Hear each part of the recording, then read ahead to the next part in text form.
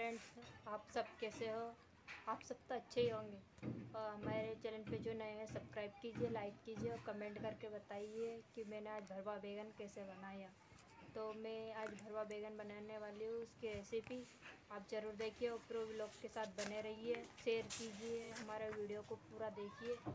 और जिसने अभी तक हमारे चैनल को सब्सक्राइब नहीं किया वो प्लीज़ सब्सक्राइब करें लाइक करें। तो अब मैं आपको भरवा बैगन की रेसिपी बताने जा रही हूँ। तो आप बता दीजिए कमेंट करके कि हमारा कैसा?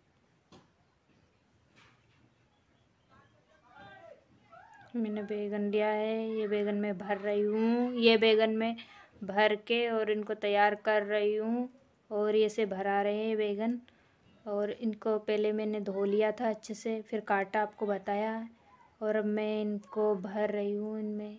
और मैंने मसाला हुआ लिया है, इसमें मसाला मैंने पहले इसमें लहसुन लहसुन को उसका पेस्ट बनाया और फिर उसमें मैंने नमक, मिर्ची मिर्ची पाउडर और मैंने सब और धनिया पाउडर, हल्दी और मैंने गरम मसाला और आमचूर मसाला डाला, उसका मिक्स बनाया, मिक्स बनाने के बाद बैगन को मैंने अच्छे से और धो लिए थे और उसके बाद भी कट लिए थे और इसको चक्कू की, चाकू की मदद से मैंने इनको इनको फाड़ लिए मतलब और इसमें अब मैं इसमें मसाला भर रही हूँ।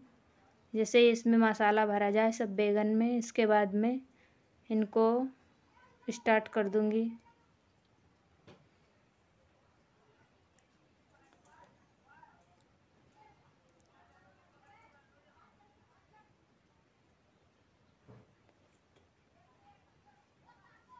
मैं इनको अच्छे से भर रही हूँ मसाला।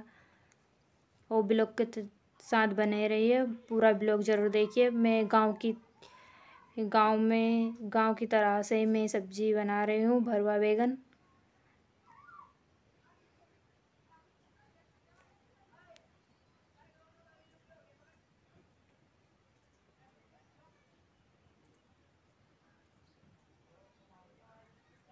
मैं इसलिए आपको सब जल्दी जल्दी नहीं दिखा रही हूँ, इसलिए आपको मैं आराम से दिखा रही हूँ ताकि आप पूरा देखें कि मैं किस तरह कर रही हूँ और मैं इनका अच्छा और थोड़ी मिर्ची काट ली है मैंने। ये मिर्ची काट के रख ली है ताकि मिर्ची हम ज़्यादा तीखा खाते हैं। आपके ऊपर है, आप कितना तीखा खाते हो? आप डाल सकते हो, आपको पसंद हो तो या ना हो तो ना, नहीं भी डाल सकते हो।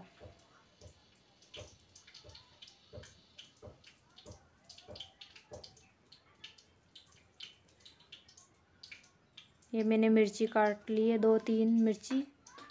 और ये लहसुन है, जो कटोरी में मैंने उधर रखा हुआ है।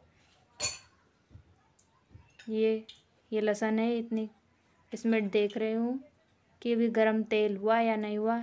ये चम्मच रखा है और मैं कढ़ाई में नहीं बना रही हूँ। इसमें बना रही हूँ, तपेली या भगोनी कहते हैं इसमें। क्योंकि ऐसे है हमारे पास भी, पर लेकिन मैं इसमें गाँव की तरीक़े से बना देती हूँ। इसमें मैंने लहसुन डाल दिया, अभी मिर्ची डाल दी है। उसको अच्छे से फ्राई होने देते हैं, थोड़े जब फ्राई हो, फिर अपन बैगन डाल देते क्योंकि ज़्यादा फ्राई हो जाते तो फिर लाल हो जाती है वो लहसुन। इसलिए मैं एक एक करके अब बैगन डाल रही हूँ। इस तरह ये बैगन मैंने भरे हुए थे, जो सब अभी मैं इस भगोनी के अंदर डाल रही हूँ। ये मैं सब एक एक करके डाल रही हूँ।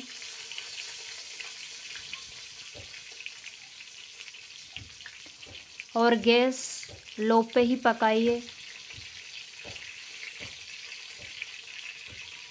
जैसे सब मैंने एक एक करके डाल दिए। या आधा के जी बैगन लिए थे मैंने और इनका हम मैं बना रही हूँ और उसमें मैंने सब डाल दिया हुआ है। ये थोड़ा मसाला। और ये चम्मच से मैं चाल देती हूँ ताकि ये अच्छे से फ्राई हो जाए।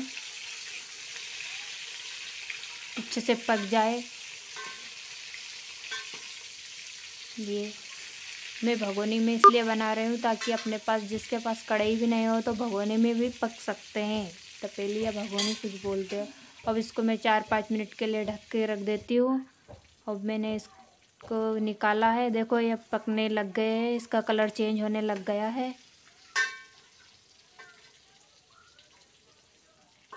और ये पकने शुरू स्टार्ट हो गए हैं। लगभग ये पक चुके ही हैं। ये इस तरीक़ा से। मैं आपको एक उठा के दिखाती हूँ ये। इसे पक चुके हैं।